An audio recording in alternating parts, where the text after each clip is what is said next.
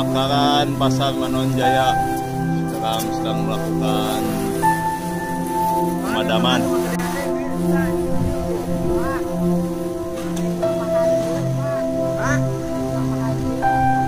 Masalah.